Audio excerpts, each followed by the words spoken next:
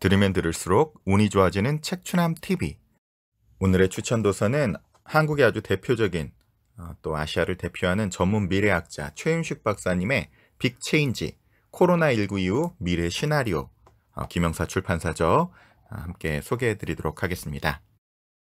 항상 책추남은 책 보기 전에 전체를 여러분 꼭 한번 살펴보시고 그 다음에 숲을 본 후에 그 다음에 이제 나무 하나하나를 보는 방식으로 책 읽기를 권해드리죠. 어쩔 때는 우리가 이제 어렸을 때부터 하도 이제 공부를 그 뭐라 할까요? 그냥 꼬박꼬박 처음부터 뒤까지 다 읽는 식으로만 훈련을 받아서 아 그게 안 되면 괜히 마음이 무겁고 부담스러운 이런 어떤 뭐라 그럴까요? 역효과들이 나타나죠. 평생 공부를 위한 역효과가 그때 또 생기는데 물론 그렇게 정독해야 되는 책도 있습니다. 하지만 또 우리가 어, 굉장히 바쁜 요새 시대에 또 너무나 넘쳐나는 정보들을 다 그런 식으로는 읽을 수가 없기 때문에 정말 좋은 책들은 완전히 꿰뚫어서 어, 독파하면 그게 수백 권, 수천 권과 맞먹는 아, 그런 효과가 나니까 아, 정말 좋은 책들을 읽으시는 거. 또두 번째는 아, 저자의 의도와 지필 주제, 결론들이 담뿍 담겨 있는 서문, 결문, 그리고 이제 중간에서 목차가 나오죠. 그 목차가 나오는 것 중에 정말 내게 필요한 것들을 어, 그렇게 읽어내시면 그게 이 시대에 맞는 독서법이 아닌가 생각을 합니다. 자, 오늘 그래서 머릿말, 이제 맺은말, 그리고 중간중간 이제 흥미로운 내용들 아, 좀 소개해 드리는 방식으로 함께 나누겠습니다. 예측된 위기와 변화가 시작되고 있다. 이번 경제 위기는 예측된 위기였다. 경제 위기를 촉발하는 방아쇠는 코로나19였지만 전 세계에서 일어나는 경제 충격의 소리, 깊이와 넓이, 각종 사건과 분석 내용은 이미 예측되었고 경고되었던 일들이다. 수년 전부터 필자도 세 가지 위기를 예측하고 경고했다. 미국 주식 시장의 대폭락, 대조정 시기, 한국의 2차 금융위기, 중국의 1차 금융위기였다. 세 가지 중 첫 번째 위기는 현실이 되었다. 앞으로 두 개의 위기가 또 세계를 강타할 것이다. 그 시점은 정확하게 예측할 수 없다. 하지만 아주 먼 미래는 아니다. 아, 이래서 최윤식 박사님도 짐 로저스의 또 어, 대공황에 관한 의견을 꼭 참조하고 말씀을 주시고 있네요. 필자만의 생각이 아니다. 이번 위기가 시작되자 투자 전문가나 경제학자 대부분이 다음 위기를 경고하고 나섰다. 그들에게 한국의 2차 금융위기는 큰 사건이 아니다. 그들이 주목하는 위기 진원지는 중국이다. 미국을 비롯한 선진국 기업이다. 핵심은 막대한 부채다. 한국인에게는 한국의 2차 금융위기도 중요하다. 역시 핵심은 막대한 부채다. 가계와 일부 좀비 기업이 가진 막대한 부채다. 위기가 일어나지 않을 때는 낙관적 위기 시나리오조차 터무니없는 예측으로 무시된다. 아무리 좋게 봐줘도 그런 일은 일어나지 않는다는 태도다. 위기가 시작되면 어떨까? 역시 낙관적 위기 시나리오는 또다시 터무니없는 소리로 치부된다. 이유는 정반대다. 위기가 시작되면 낙관적 시나리오 수준에서 절대 끝나지 않기 때문이다.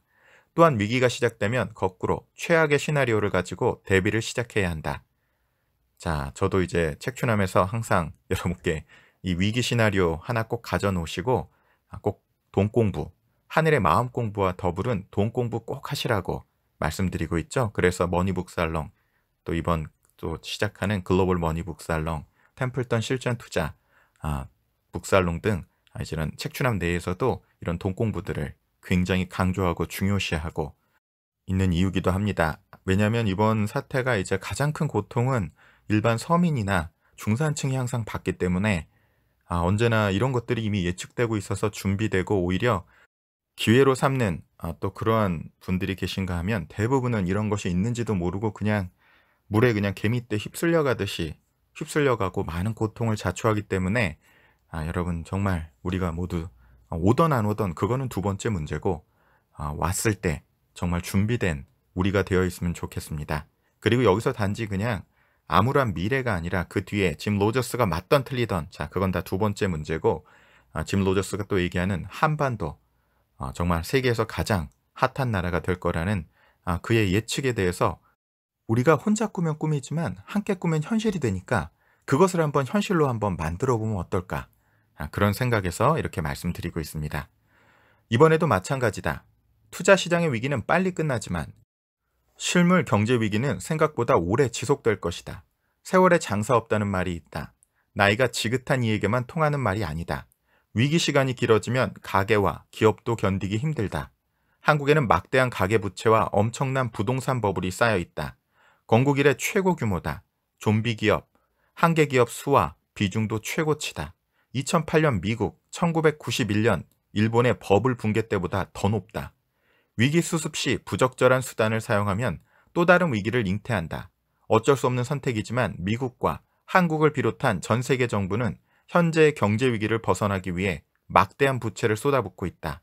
다른 방법도 없어 보여 그 누구를 탓할 수도 없다. 2008년 이전부터 첫 단추를 잘못 끼웠기 때문에 부채로 만들어진 위기를 부채로 돌려막는 상황을 한순간에 되돌리기 힘들다. 그래도 사실은 사실이다. 진실은 부정할 수 없다. 이게 국가 레벨의 카드깡을 계속했다는 얘기로 들리네요. 이번에 각국 중앙은행이 무제한 찍어내는 돈과 정부의 대규모 대정 투여는 생산적 투자가 아니다. 최악의 상황을 막기 위해 쏟아붓는 휘발성 임시방편이다. 미래의 더큰 수익으로 되돌아올 가능성은 아주 낮고 더 큰 부담과 더 큰 위기로 돌아올 가능성이 높기 때문이다. 갚기 힘든 빚을 져본 사람이라면 이 말의 뜻을 직관적으로 안다. 한국을 비롯한 세계 각국의 전폭적인 재정 투하 정책으로 이번 경제 위기도 최악은 피할 가능성이 높다. 하지만 돈을 빌려 쓴 가계와 좀비 기업의 체력은 더욱 약해질 것이다. 한국, 중국, 신흥국들에서 또 다른 위기가 이미 시작되거나 머지않은 미래의 위기가 다가올 것이라는 필자의 미래 시나리오가 현실이 될 가능성은 더욱 높아진다. 여기에서 주의할 점이 하나 있다. 그렇다고 해서 이제 완전히 망했다고 포기하면 안 된다. 필자가 이 책을 쓰는 핵심 이유다. 지난 수백 년의 경제사를 뒤돌아보면 결국 경제가 이긴다는 진리를 쉽게 발견할 수 있다.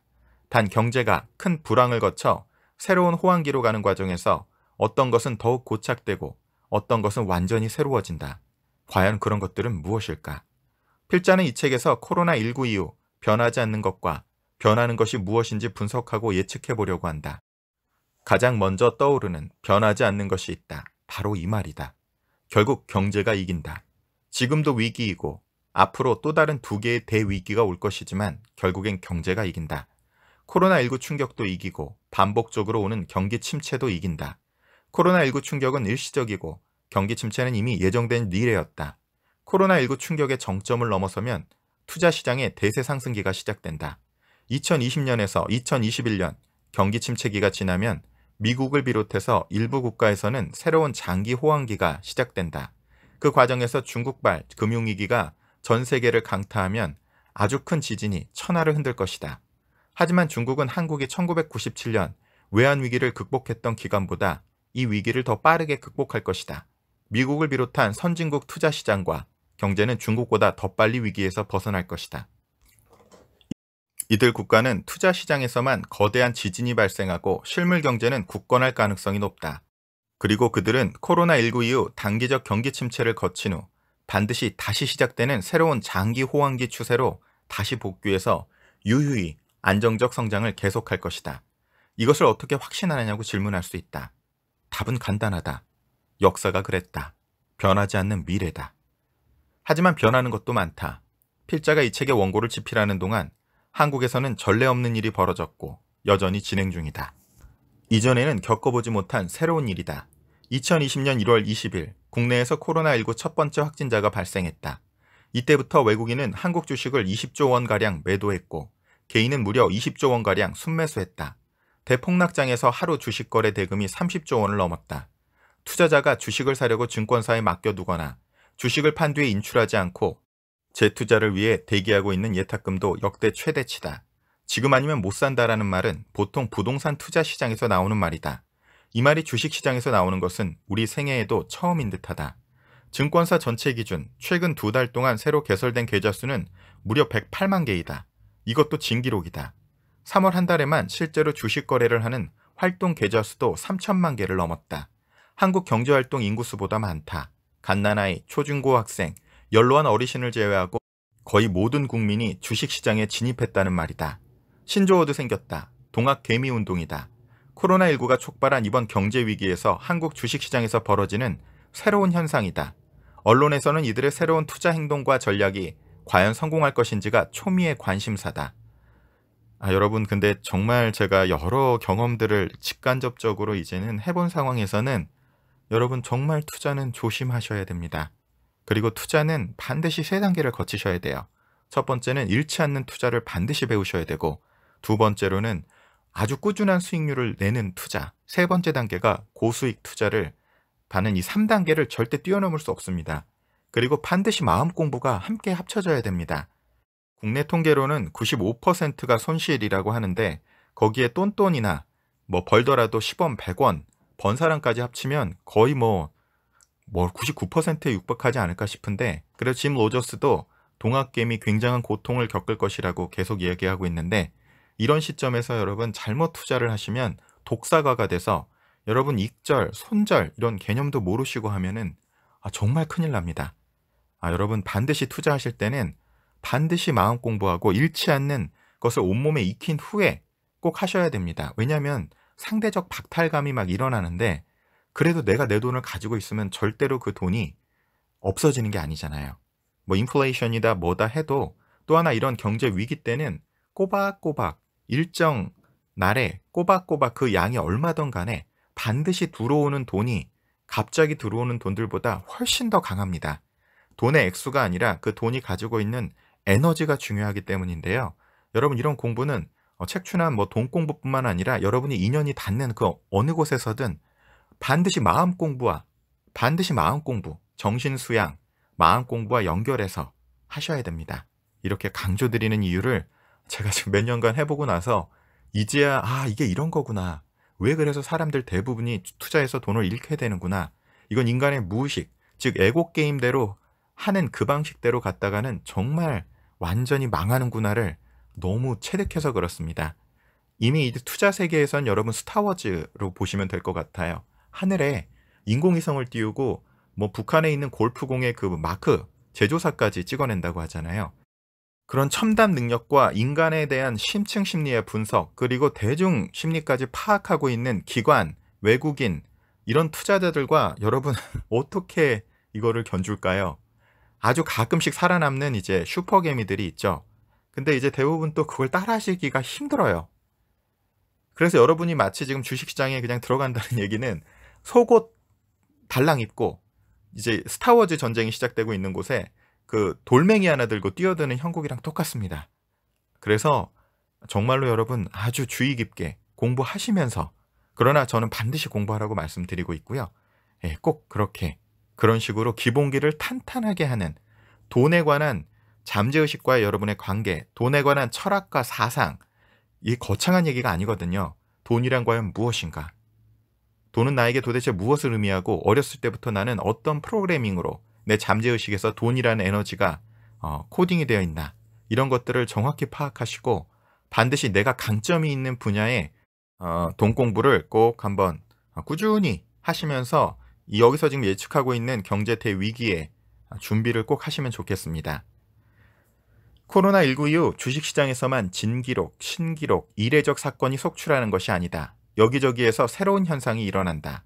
어떤 사건들은 단기적이지만 어떤 변화는 최소 1에서 3년, 최대 3년 이상 수십 년 동안 우리의 삶을 바꿀 것이다.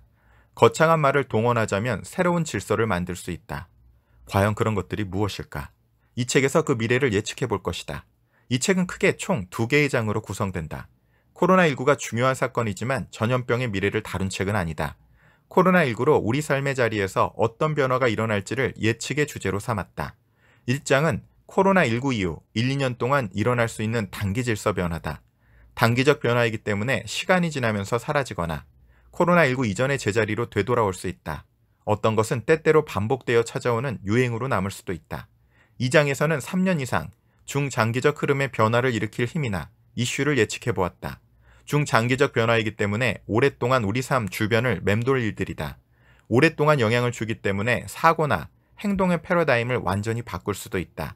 어떤 것들은 10년 이상 지속되어 인류의 삶 전반에 영향을 주는 메가 트렌드로 발전해 나갈 수도 있다.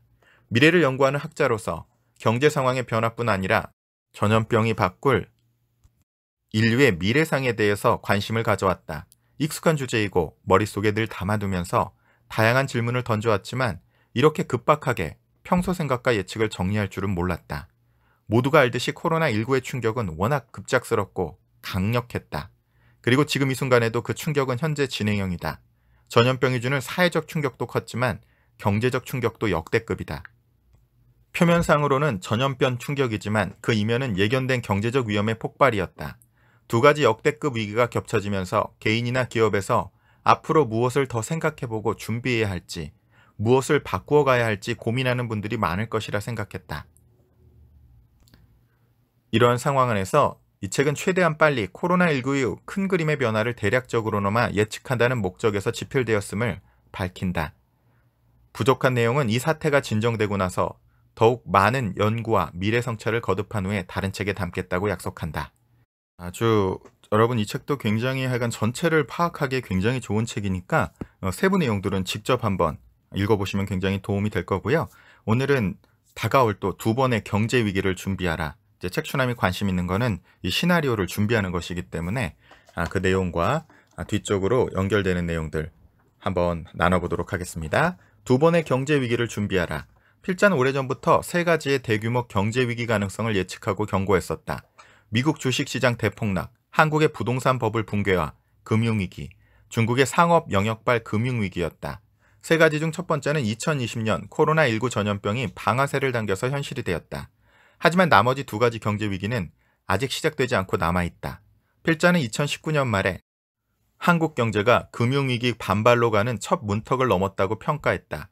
초저금리 상황이 길어지면서 필자의 예측보다 늦어지고 있지만 한국과 중국의 금융위기 발발도 머지않은 미래의 현실이 될 가능성이 높아지고 있다.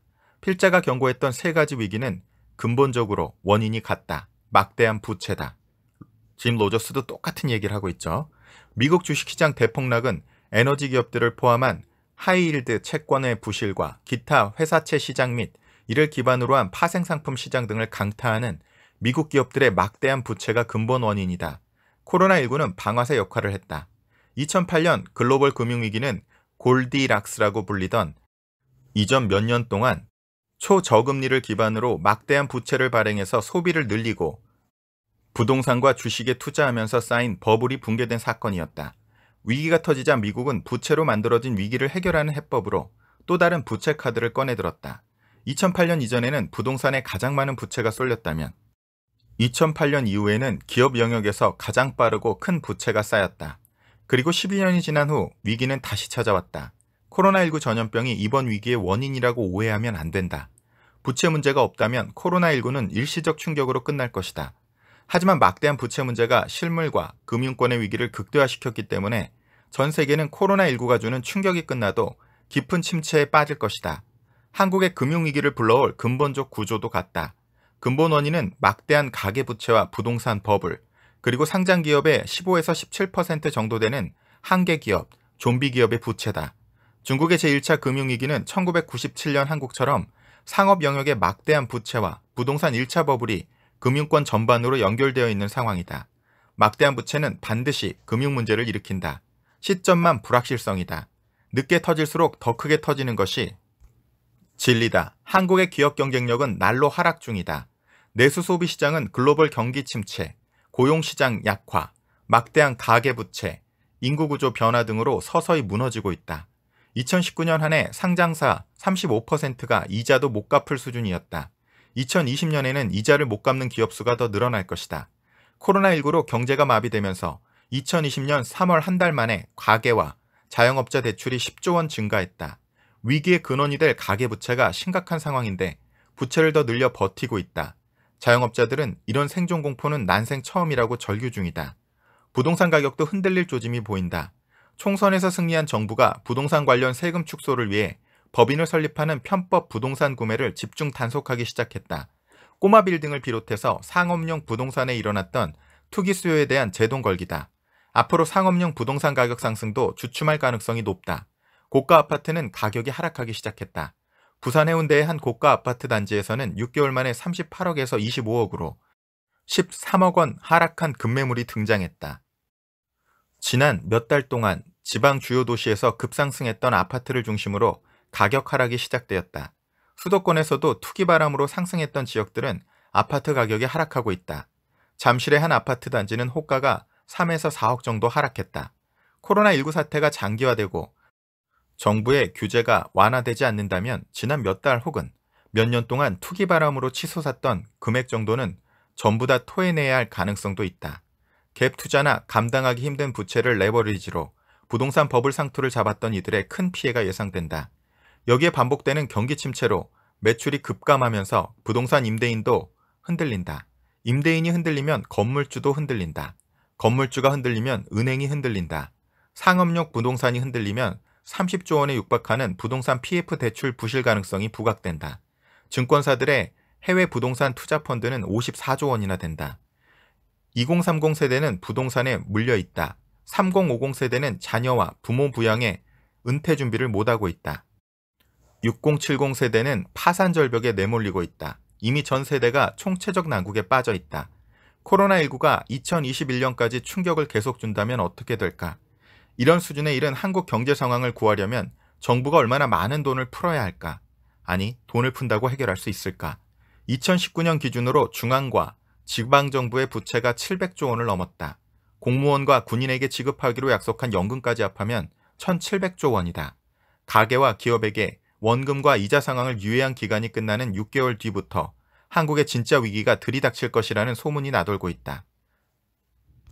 이 책이 이제 2020년 7월 8일 초판이 발행됐으니까 6개월 뒤로 이제 보면은 내년 상반기네요.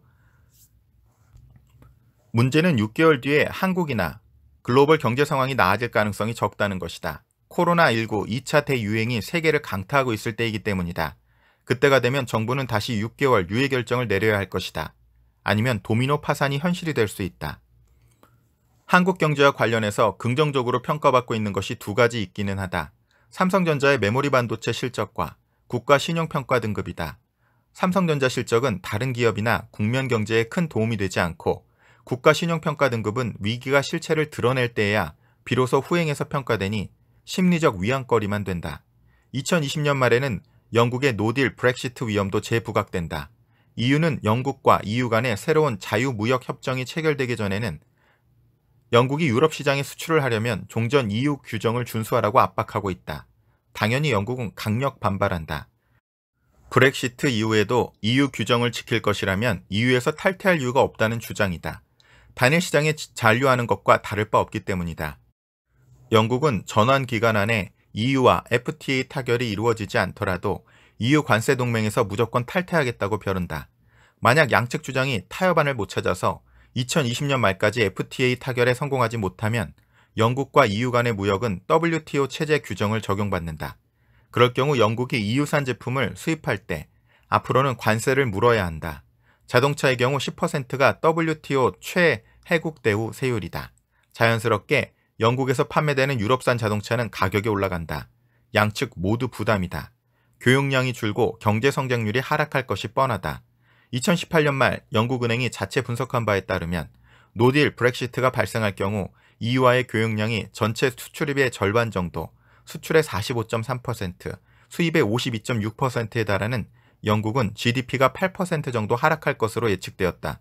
가뜩이나 코로나19로 영국과 유로존 모두 2020년 경제 성장률 하락이 불을 보듯 뻔한데 no deal 브렉시트가 현실이 되면 추가 하락이 불가피하다. 세계 경제와 주식시장은 한 번 더 놀라게 된다. 유럽 경제 회복도 그만큼 늦어진다. 참고로 이탈리아는 코로나19 경제 충격과 더불어 국제시장에서 자금 조달 비용이 증가하면서 재정 위기에 다시 처할 가능성이 높아지고 있다. 이탈리아가 무너지면 유럽 전역으로 위기가 확산된다. 프랑스, 스페인, 포르투갈, 벨기에 등 다수의 유로존 국가은행들은 이탈리아 국채를 상당량 보유 중이기 때문이다. 일부에서는 유로존 은행권에서 신용 손실 가능 금액이 최대 3천억 달러에 이를 것이라는 전망도 한다. 2020년 후반 혹은 2021년 이후에도 이어질 미중 무역전쟁 재발도 한국을 기다리고 있다. 이번 코로나19 충격 이후 가계의 상환 능력이 하락하든 부동산 가격의 한계점에 도달해서 시장의 법칙에 따라 스스로 하락하든 중국의 금융위기가 발발하면서 도미노로 한꺼번에 무너지든 한국의 가계 영역과 좀비 기업발 2차 금융위기 발발은 예고된 미래다. 이미 엎질러진 물이기 때문에 주워 담을 수 없다.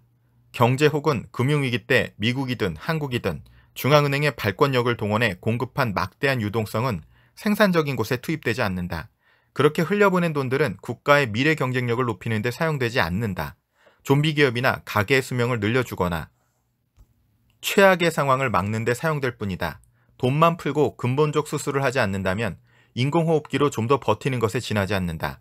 만약 현 정부가 부동산 버블 붕괴를 막기 위해 대출 규제 완화와 종부세 완화 등 부동산 규제 완화로 정책을 전환하면 지옥문을 스스로 여는 일이 될 것이다.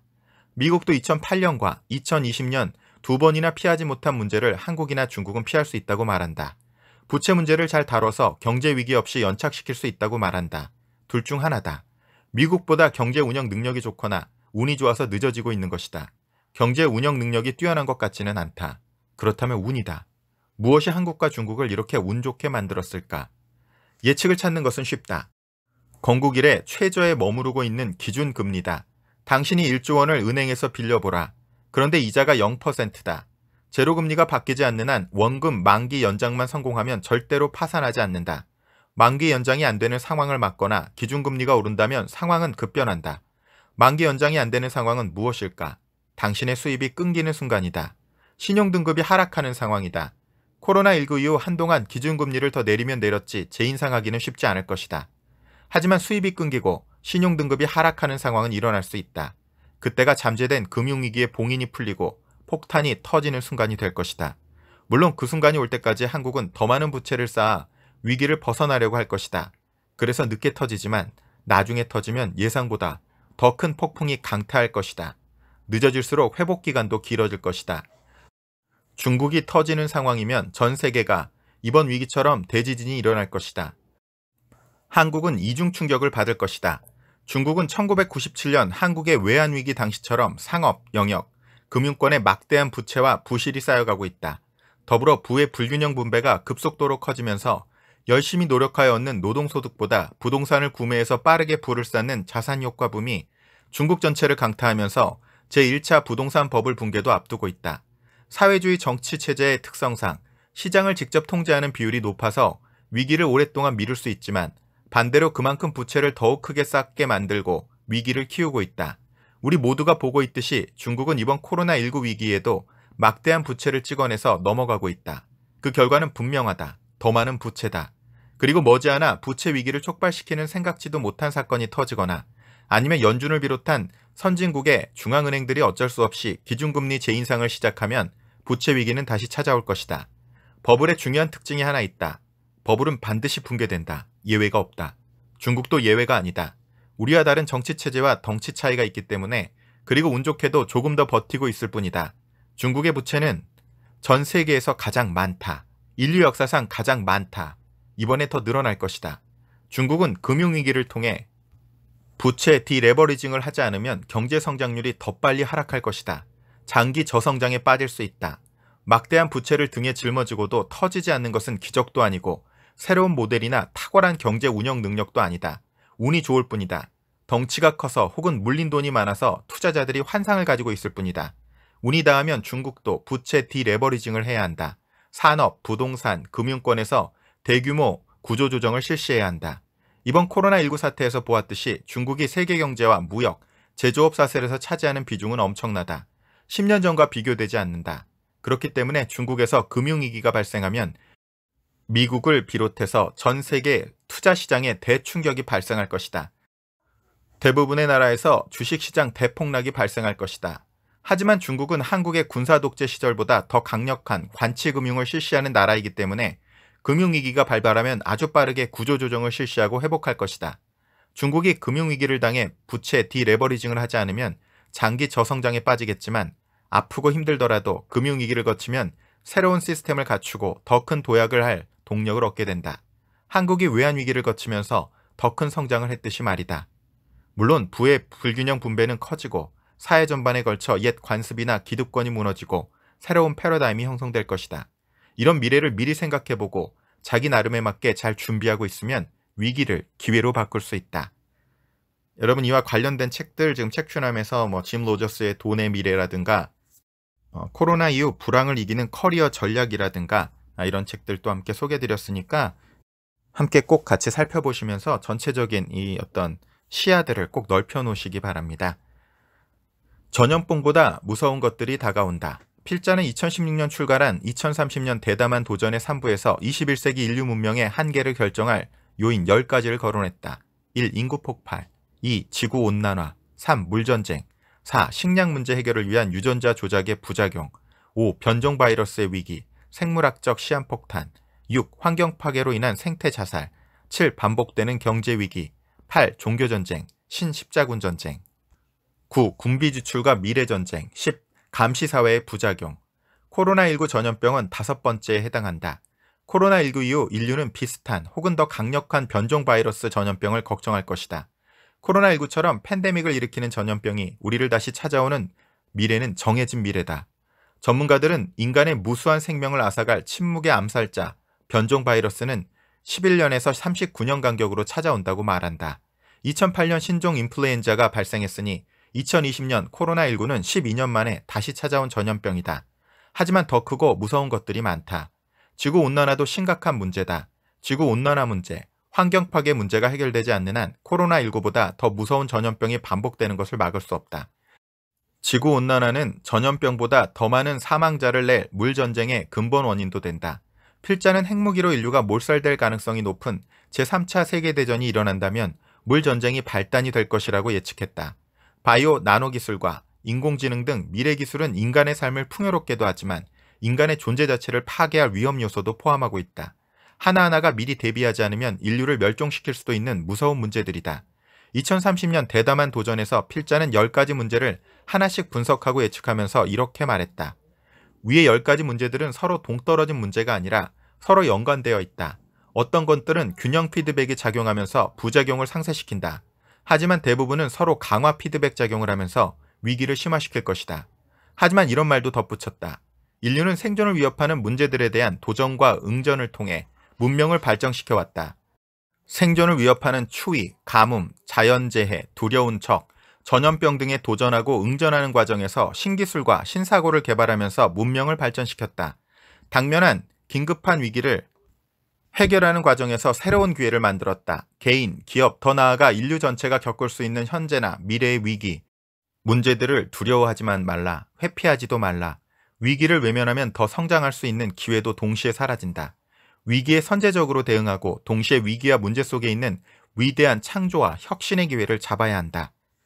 여러분 그래서 주역의 공부를 하는 게 굉장히 중요한 시점이기도 하고 여러분 또 어떤 마음 공부의 중요한 철학들을 확립하는 게 굉장히 중요하죠. 그 중에 하나가 삶은 절대적으로 안전한 게임이다. 뭐 이런 철학들이 있죠. 그리고 결국 모든 것이 다 잘 될 것이다. 이것은 여러분만의 깊은 마음 공부를 통해 궁극적으로 여러분 안에 세계관으로 꼭 깔아놓아야 할, 아, 그래야 이 위기 시대를 우리가 정말 기회로 바꿀 수 있는 아, 토대가 된다고 생각을 합니다. 자, 코로나의 교훈. 어떤 이는 지금을 변덕스럽고 불확실하고 복잡하고 모호한 시대라고 한다. 그래서 이거를 북카 월드라고도 얘기하죠. 적절한 표현이 듯 싶다. 이런 시대의 거대한 위기에 선제적으로 대응하고 동시에 위기와 문제 속에 있는 위대한 창조와 혁신의 기회를 잡으려면 어떻게 해야 할까? 코로나19에서 배운 몇 가지 교훈에서 그 방법을 찾아보자. 교훈은 여섯 가지이다. 첫째, 위기는 누구도 피해가지 않는다. 둘째, 위기를 극복하려면 투명성이 중요하다. 셋째, 위기는 초기 대응이 가장 중요하다. 넷째, 위기는 전방위 대응이 그 다음으로 중요하다. 다섯째, 위기는 빨리 극복하면 기회로 바뀐다. 여섯째, 위기 속 기회에도 위기는 숨어 있다. 코로나19 위기는 부자든 빈자든 강대국이든 약소국이든 모두에게 예외 없이 닥쳤다. 거대한 위기는 사람을 가리지 않는다. 앞으로 일어날 다음 위기들도 마찬가지다. 누구도 피할 수 없다. 나는 예외다. 우리나라는 다르다라는 말이 통하지 않는다. 모두에게 동일하게 찾아오는 위기다. 하지만 예측, 준비, 대응력에 따라서 피해 규모가 달라진다. 예측, 준비, 대응력을 높이려면 어떻게 해야 할까? 가장 중요한 것이 투명성이다. 미래는 예언할 수 없지만 논리적이고 확률적인 예측으로 준비할 수 있다. 미래를 예측할 수 있는 이유는 미래가 그냥 오지 않기 때문이다. 위기든 기회든 미래는 신호를 주고 온다. 신호를 잘 파악하려면 정보에 대한 투명성이 있어야 한다. 신호 정보를 찾는 사람이나 그 신호를 전달받는 사람 모두 투명성을 가져야 한다. 남의 눈치를 보거나 자기의 신념이나 정치적 이득에 따라서 왜곡하면 안 된다. 내가 왜곡한다고 해도 부정하고 외면한다고 해서 위기가 사라지지 않는다. 오히려 재난을 맞는다. 코로나19 사태에서 중국의 우한, 이탈리아, 일본 등의 사례를 보라. 감추다가 혹은 무시하다가 위기를 키웠고 재난이 되고 말았다. 중국은 우한에서 의사 리웬양을 웨이보의 코로나19 위험성을 알린 사실을 공권력을 동원해서 막았다. 중국과 전 세계 사람들에게 가장 중요했던 신호를 무시하고 왜곡시켰다. 결과는 재앙이었다. 신호를 찾고 받아들이는 것부터 투명성이 확보되어야 준비와 대응도 최적으로 할 수 있다. 위기는 초기 대응이 가장 중요하다. 초기 대응력을 높이려면 위기가 일어나면 어떻게 해야 할까를 미리 생각해 놓아야 한다. 인간은 지혜롭다. 우리 주위에는 똑똑한 사람이 많다. 각 분야의 전문가도 충분하다. 하지만 미리 준비하고 대응하는 사람은 적다. 인류 역사를 보면 그 어떤 위기라도 대부분 극복했다. 해법을 찾았다. 문제는 속도였다. 거대한 재난이 발생했다고 생각해보자. 대부분 이렇게 행동한다. 위기 A 발발, 1차 긴급회의 소집, 전문가를 통한 A1 해법 도출, A1 해법 시행. 하지만 찾아낸 해법 A1보다 위기 발전이 더 빨라서 위기가 A에서 B로 발전. 그래서 이 해법이 통하지 않음. 이에 따라 2차 긴급회의 소집, 전문가를 통한 B1 해법 도출, B1 해법 시행. 하지만 또 해법 통하지 않음. 이런 식으로 반복되다가 위기가 F까지 발전한 후 스스로 속도가 줄어들기 시작. 뒤늦게 쫓아서 만들던 F1 해법이 효과를 내기 시작. 위기 마무리. 이렇게 되는 현상을 뒷북친다고 한다. 이런 상황에서 벗어나는 방법은 무엇일까? 위기가 발생했을 때 긴급회의를 더 빨리 소집하면 되는가? 아니다. 간단한 방법이 있다. 위기가 시작되기 전에 모여서 미리 생각하고 미리 준비하고 미리 전략과 행동 가이드라인을 만들어 놓으면 된다. 자, 이게 바로 시나리오 기법입니다. 더치쉘이 전 세계 최고의 정유 기업으로 갑자기 급부상한 것. 그게 바로 오일 쇼크를 맞이했을 때 그 더치쉘이 시나리오 기법으로 이미 오일 쇼크 시나리오를 갖고 있었기 때문이거든요. 그것처럼 여러분 그래서 책추남이 이런 책들을 지금 소개하면서 여러분에게 그 위기 시나리오를 대공황 시나리오를 꼭 준비하라고 말씀드리는 바로 그 이유입니다. 위기가 실체를 드러내지 않았으니 이런 단계에서는 한 가지 전략이나 행동 매뉴얼로는 부족하다. 다양한 시나리오를 수립하고 그에 맞는 복수의 전략과 매뉴얼을 준비해야 한다. 위기가 실제 발생하기 전에는 이런 절차는 귀찮고 소모적이다. 그래서 안 한다. 이런 준비를 안 했으니 위기가 발생하면 허둥지둥한다. 허둥지둥하다가 위기를 스스로 키운다. 그리고 생존의 위협에 몰린다. 위기는 초기 대응이 중요하고 초기 대응을 잘하는 가장 확실한 방법은 위기가 일어나기 전에 미리 생각하고 준비하는 것이다. 위기가 발생하면 전방위 대응을 하는 것도 중요하다. 당연히 전방위 대응에 대해서도 위기 전에 미리 생각하고 준비해 놓아야 한다. 전방위 대응을 해야 하는 이유도 간단하다. 위기가 어디로 튈지 모르고 위기가 발생하면 전방위 시각을 확보하기 힘들기 때문이다. 산불을 진압하는 소방관을 생각해보라. 산불 흐름만 따라가다가는 산 전체를 다 태운다. 초기에 진압하고 초기 진압도 전방위로 한다. 코로나19 사태에서 한국과 다른 나라의 차이는 무엇일까? 우리는 잘 안다. 다른 나라들은 감염자 확산 속도와 수를 감추었다. 위기를 축소 발표했다. 무시했다. 하지만 한국은 전방위 전수조사를 했다.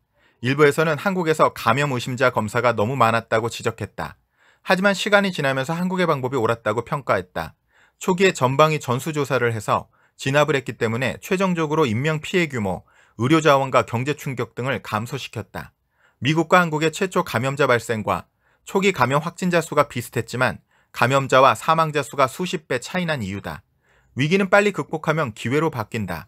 코로나19 사태에서 한국이 보여준 빠른 위기 대응력은 전 세계의 찬사를 받았다.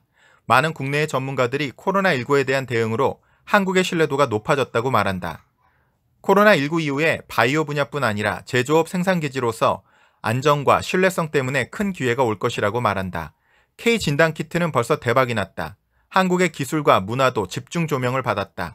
코로나19 이후 한국의 대중문화 호감도가 더 높아지면서 한류 열풍이 오래 지속될 수도 있다. 주식시장에서 대폭락을 준비했던 투자자는 코로나19 상황에서도 최고의 수익률을 올렸다. 위기는 누구도 피할 수 없지만 극복하는 속도는 다르다. 빨리 극복하면 남은 위기 기간이 전부 기회가 된다. 하지만 극복 속도가 늦을수록 피해는 커진다. 심지어 위기가 다 지나가고 난 후에도 후유증에 시달리게 된다. 중국의 우한, 이탈리아, 미국 뉴욕은 가까스로 코로나19 진압에 성공했지만 앞으로 그 후유증이 만만치 않을 것이다. 경제가 회복되는 속도도 다른 나라 혹은 다른 도시보다 느릴 것이다. 그 지역에서는 몇몇 부작용도 나타날 것이다. 예를 들어 피해가 큰 만큼 외상 후 스트레스 장애도 다른 곳보다 클 것이다. 코로나19 팬데믹의 높은 전염성과 강력한 치명률에 공포를 현장에서 온몸으로 직접 체험한 공공보건 근로자, 의료 종사자들의 심리적 고통이 아주 크다. 코로나19가 종식되어도 이들은 아주 심한 외상 후 스트레스 장애에 시달릴 가능성이 높다. 지역 전체가 코로나19로 직접 피해를 입었으니 해당 지역 전체 공공보건 근로자 의료 종사자들이 외상 후 스트레스 장애에 시달리게 된다.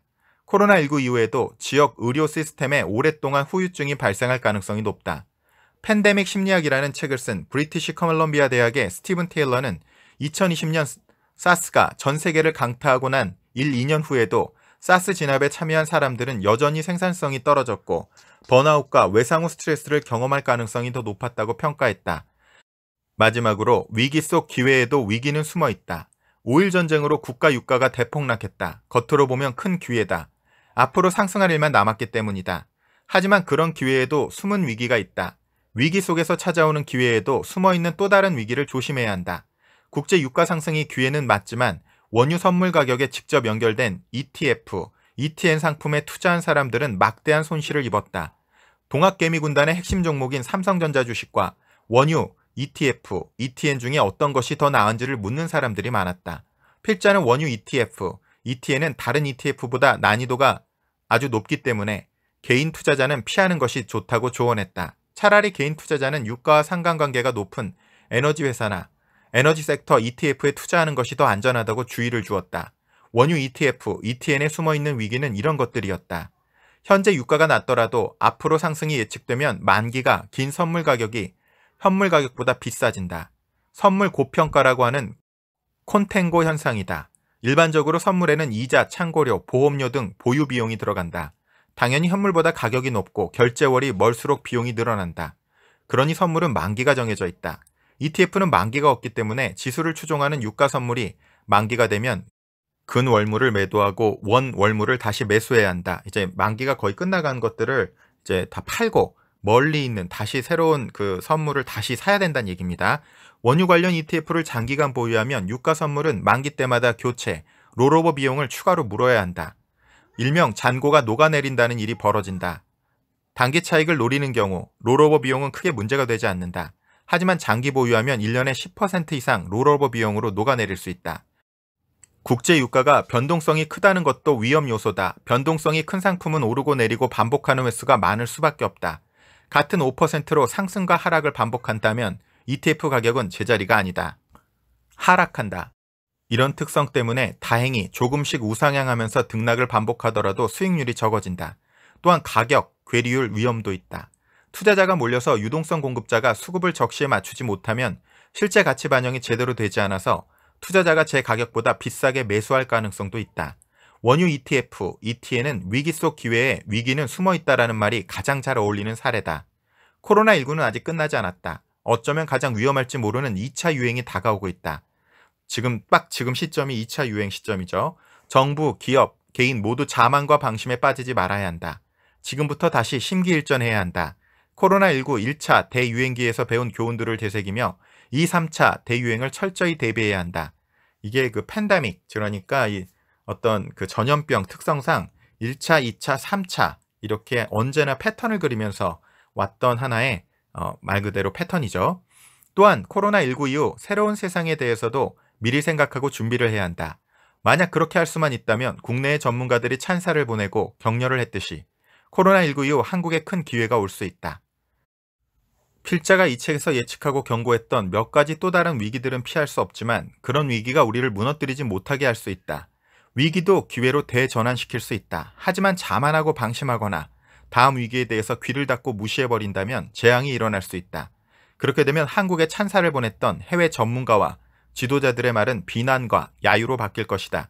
우리의 미래가 둘 중 어디로 갈지는 지금 우리 손에 달려 있다. 자, 이렇게 책이 마무리가 됩니다. 아, 이 책 앞쪽 내용들은 제가 뭐 거의 설명 안 드리고 뒤쪽 몇 챕터만 지금 간단하게 이제 요약적인 부분들을 함께 나눠보았는데요. 아, 여러분 이 책도 꼭 참조하셔서 여러분의 미래 준비에 아, 좋은 책으로 읽어보시기를 추천드립니다. 책추남은 꿈을 꿉니다. 나비스쿨의 꿈을 꿉니다. 애벌레가 나비로 날아오르듯 그렇게 나답게, 자유롭게, 충만하게 균형 잡힌 행복감을 누리며 살아갈 수 있는 실력과 지혜를 체득할 수 있는 학교. 천 하늘의 마음 공부, 지 땅의 돈 공부, 인 사랑 공부가 통합적으로 이루어질 수 있는 그런 학교를 꿈꿉니다. 혼자 꾸면 꿈이지만 함께 꾸면 현실이기에 여러분을 이 책추남 나비스쿨의 비전에 초대드려 봅니다. 작은 나비의 날갯짓이 거대한 태풍을 일으키듯 여러분 책추남을 통해 추천드리는 책들 어, 가능하면 소장하셔서 반복적으로 읽고 듣고 쓰고 토론하셔서 여러분의 잠재의 시간에 변화의 나비 효과의 씨앗으로 심어주세요. 그리고 이 영상도 정말 도움이 되셨으면 좋아요, 구독하기, 알람 설정하셔서 여러분 주변에 정말 도움이 될 만한 분들 세 분에게만 함께 선물로 공유해 주세요. 그리고 정신적 형태로 여러분 정말 마음으로 응원해 주시거나 기도로 함께 해 주시거나 또 물질적 형태로 어, 책추남 온라인 멤버십에 가입해 주시거나 아니면 도네이션 해 주시거나 광고 skip 없이 봐주시거나 또 참여적 형태로 여러분 책 추남 어, 정말 무료부터 또 프리미엄까지 아주 다양한 형태로 아, 교육이 여러 가지 교육이 준비가 되어 있죠. 매주 목요일 9시에 이제 항상 진행하고 있는 책추남의 온라인 라이브 방송 그리고 토요일 날 오전 7시에 진행하고 있는 토요 온라인 북코칭 또 한 달에 세 번째 주 토요일 날 오후에 진행하고 있는 책추남 정모 또 다양한 북살롱들 있죠. 베이직 북살롱, 머니 북살롱, 글로벌 머니 북살롱 하버드 협상 북살롱, 2030을 위한 2030 북살롱, 또 템플턴 실전 투자 북살롱, 또 청소년들을 위한 북살롱. 또 여러분 무의식을 획기적으로 어, 파악해낼 수 있는 gameful thinking 코칭, 지금 투자 공부와 함께 더불어서 여러분 꼭 그 기업가 정신도 꼭 훈련해 놔야죠.